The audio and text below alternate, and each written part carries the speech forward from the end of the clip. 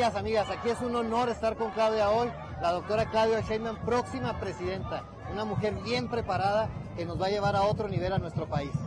A la primera frontera, Ciudad Juárez, los queremos muchísimo y además vamos a apoyar con todo a Cruz Pérez Cuellar. No te olvides de votar.